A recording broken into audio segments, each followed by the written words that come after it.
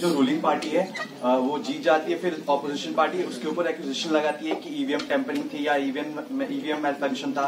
तो इसके इस चीज़ को खत्म करने के लिए ईसी को क्या एश्योरिटी लोगों को देनी चाहिए वोटर्स को देनी चाहिए कि उनका वोट जो कास्ट हो, वो सही हुआ देश में आज की तारीख में कोई पार्टी ऐसी नहीं है जिसने ये ना कहा हो कि ईवीएम ठीक है और उसी पार्टी ने ये भी कहा है कि ईवीएम खराब है। जहाँ मैं जीत गया तो ईवीएम ठीक है। फिर दूसरे स्टेट में मैं हार गया तो ईवीएम गलत है। ये दोनों तरफ़ तो बात नहीं हो सकती। तो ईवीएम जैसे हमारे यहाँ जो ईवीएम इस्तेमाल होती है, वो एक्चुअली दुनिया में अपनी तरह की एक ही है। ये यहीं हमारे ही विदेश में साइंटिस्ट और टेक्नोलॉजिस्ट लोगों ने डेवलप की है डिज़ाइन की है मैन्युफैक्चर होती है।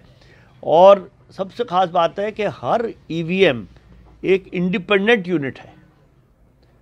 उसमें उसका किसी से कनेक्शन नहीं है। जो बाकी जो वोटिंग होती है, जो अभी बात हो रही थी कि कहीं से भी वोट कर लो, उसमें कुछ इंटरनेट का रोल होता है।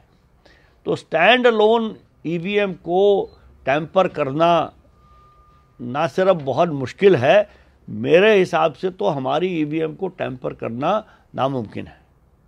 और जो केस जिनके बारे में शोर मचाया जाता है, वो होते हैं मैल फंक्शनिंग कि मशीन ने ठीक से काम नहीं किया। ये नहीं होते कि किसी ने मशीन से गलत काम करवा लिया।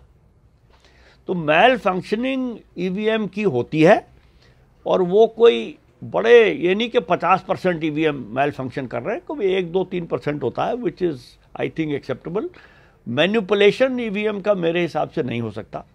लेकिन उसके बावजूद भी अब इलेक्शन कमीशन ने एक नया सिस्टम शुरू किया है, उसको कहते हैं V V pat voter verifiable paper audit trail कि जब आप वोट करेंगे तो एक विंडो है ट्रांसपेरेंट एक स्लिप वहाँ निकलेगी, उस पर लिखा आएगा, छपा हुआ कि आपने किस पार्टी को या किस कैंडिडेट को वोट दिया है। वो स्लिप आपको सात सेकंड तक दिखेगी, फिर वो कट के डिब्बे में चली जाएगी। तो उससे ये और भी ज़्यादा सेटिस्फैक्शन होता है कि भाई ठीक है, जिसको मैंने वोट दिया, उसी को मिला है। अब उसको लेके आगे झगड़ा ये शुरू हो गया कि वी पैट को काउंट करो। भाई अगर सारे वी पैट को काउंट करोगे तो तो बैलेट पेपर ही हो गया। उसमें तो तीन दिन लगते हैं काउंटिंग होने में कभी कभी दस दिन लगते हैं। तो इलेक्शन कमीशन ने कहा है कि हर कॉन्स्टिट्यूएंसी में एक ईवीएम या एक ईवीएम या एक परसेंट वीवीएम का वो वीवीपैट से कंफर्म किया जाएगा।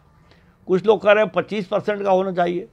अब वो ठीक है, एक और पच्चीस के बीच में जितने मर्ज़ी हो सकते हैं कर लो, लेकिन पेपर बैलेट पे वापस जाने का तो कोई सवाल मेरे ख्याल में है ही नहीं, क्योंकि पेपर बैलेट में ये कहना कि पेपर बैलेट में वोटर को ये तसल्ली होती थी कि जिस डिब्बे में मैंने डाला है उसी में गिरा है लेकिन पेपर बैलेट में तो भैया बूथ कैप्चरिंग होती थी वोटरों को फाड़ दिया वोट वोटर स्लिप्स को फाड़ दिया जाता था, डिब्बे चोरी हो जाते थे, और फिर कहाँ से कहाँ डिब्बा चला आ रहा है, रास्ते में उस पर डाका पड़ जाता था।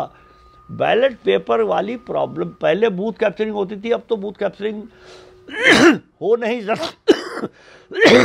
हो नहीं सकती, क्योंकि एक ईवीएम सात सेकेंड तक सात सेकंड पहले उसमें कोई दूसरा आदमी हाथ लगा ही नहीं सकता वरना ऑटोमेटिकली बंद हो जाती है।